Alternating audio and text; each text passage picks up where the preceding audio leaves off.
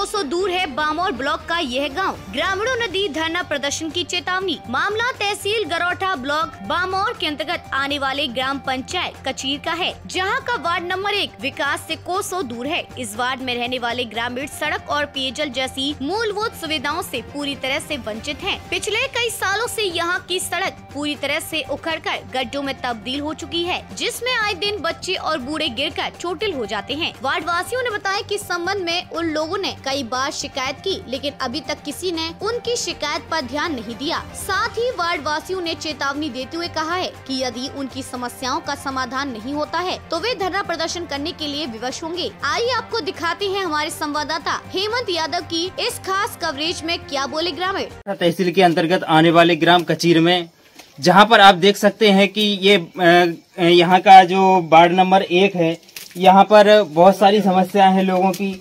यहाँ पर लोग नरकीय जीवन जीने के लिए मजबूर हैं क्योंकि यहाँ पर है जो मूलभूत सुविधाएँ हैं वो यहाँ पर उपलब्ध नहीं हो पा रही हैं लोगों को। यहाँ की जो सड़क है उसका उसकी स्थिति बहुत ही खराब है। पूरी सड़क पूरी तरह से उखड़ चुकी है और पूरी सड़क में गड्ढे हो गए हैं।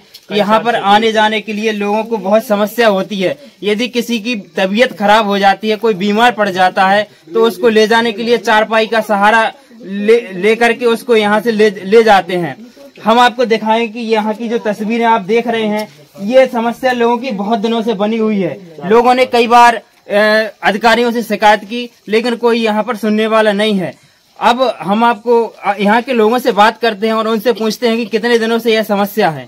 क्या नाम है आपका? ज्ञान सिंह कहाँ के रहने वाले हो? ग्राम कच्ची क्या समस्या है? अरे चार पाँच साल से बहुत सड़क बिखरी पड़ी हुई है टूटी पड़ी आरसीसी थी।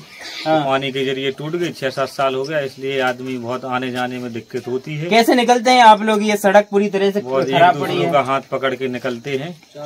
इस संबंध में अभी तक आपने किसी से शिकायत की है? सबको शिकायत की है ग्राम प्रधान को भी और तहसील में भी शिकायत की कई बार विधायक से भी शिकायत की मगर किसी ने सुनवाई नहीं क्या चाहते हैं फिर? हम ये चाहते हैं कि हमारी ये सड़क सही हो जाए उस मोहल्ले का आवागमन इस साइड हो जाए क्योंकि बीमार लोग रहते हैं आने जाने में चारपाई के सहारे से निकलते हैं। क्या समस्या है? यहाँ पे जो सड़क उखड़ी पड़ी है क्या कहना चाहेंगे आप? समस्या तो बहुत बड़ा है। हमारे नाती लड़का पकड़ पकड़ कड़ाउते हैं। हाँ।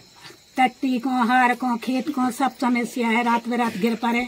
हाँ। तो भी कछु नहीं हमारे बगल जाए तो समस्या कितने दिनों से समस्या है जी? चार साल है तो यहाँ नहीं हो गई। वो मेरा दरवाज़ा बिल्कुल पड़ जाता है रोड पे। इस संबंध में आप लोगों ने कहीं शिकायत की है? शिकायत खूब करी को सुनत बूढ़े आदमी की पैदान तक जाता आदमी बस लौट आउट। क्या चाहती है फिर आप? जो चाउत के सुविधा हो जाए हमारे छोटे छोटे बच्चा है हम बूढ़े आदमी है मर गल जहाँ बिना मौत के। का परेशानी यही तो परेशानी है। ठीक ठीक।